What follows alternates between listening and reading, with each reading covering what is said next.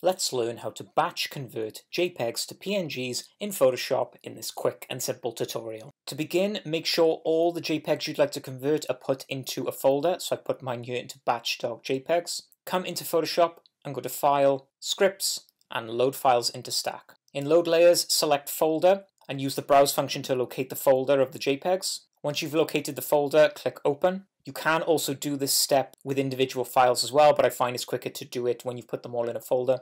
You don't have to do this, but I like to turn on attempt to automatically align source images. From there, click OK. All the JPEGs have been now loaded into one Photoshop file. The next step is optional, but if you'd like to remove the backgrounds from the JPEG layers, there are a couple of ways to do that. You can either select each layer and then come to Properties, and if you can't find a good Window, Properties, scroll down, and under Quick Options, you can click Remove Background. Now the remove background's done a decent job, but if I zoom in here, you can see that it's not perfect. So if that is the case for some of your layers, if I just Command Z to undo, you can also try select subject, zoom in, then refine the selection by using the magic wand tool, adjusting tolerance, so I'm going to bring it down to 10, press enter, and then either use Alt or Option to remove parts of the selection, or use Shift to add parts of the selection. I'm not going to take my time with this, I've done it really quickly, but once you're happy with the selection, come to Marquee, right click, layer via copy, I press Command 0 to zoom out, and then you can delete this original layer here, and you've got a cutout of the dog. So continue now and remove all the white from the other images. So I'm going to use the remove background option for the remaining layers.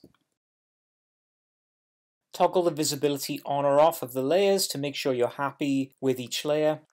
And once you are, turn all layers back on, and then come to File, export layers to files. Select a destination folder you'd like to save the exported PNGs to. So I'm going to save mine to batch.pngs. Press open.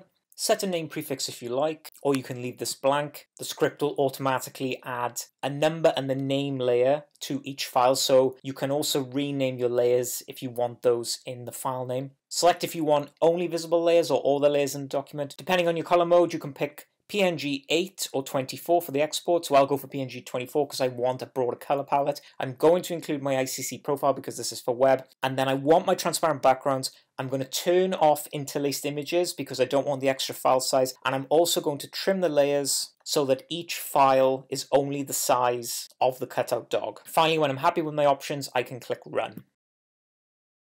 Once it's run, export layers for files are successful, click OK.